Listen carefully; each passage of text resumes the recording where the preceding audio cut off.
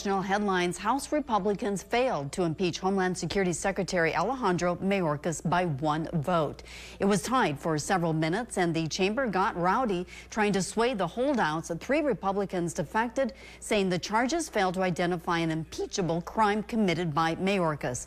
They are Wisconsin's Mike Gallagher, Ken Buck of Colorado, and Tom McClintock of California.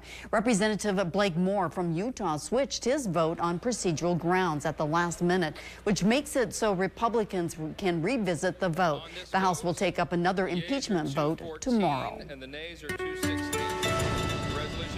Snow showers will be on the increase across